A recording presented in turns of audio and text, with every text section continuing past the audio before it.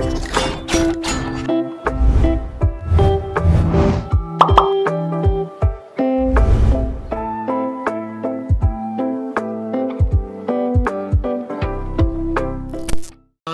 Florence Sechitoleko and I'm the District Education Officer of Luweero District.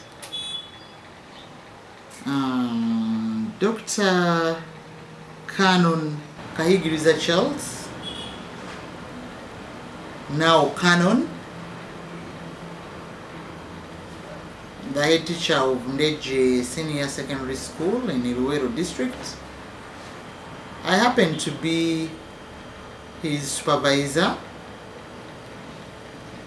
and uh, I have known him for the past 28 years. I knew Dr. Kahigiriza before he came to head Ndeje Senior Secondary School. I knew him, we taught together.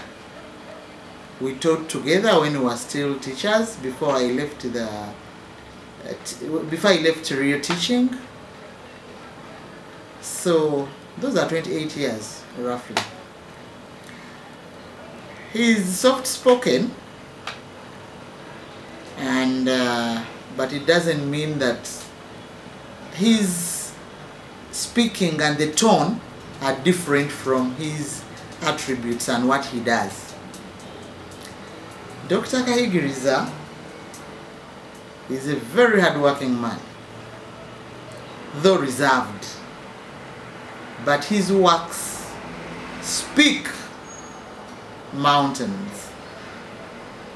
He's very committed to his work. Academic excellence. Now in Luweero district, all the first grades we get, the biggest percentage is contributed by the school he heads. Therefore, he's a very good team leader with a very big staff, but you never hear complaints from the staff. So he handles them well. Enrollment, I don't have words for that. The school has grown. I don't know how many times. Parents are always there. They want their kids to be in, uh, to be admitted in uh, Ndeje Senior Secondary School. So all this put together shows you the kind of person that the canon is. Thank you.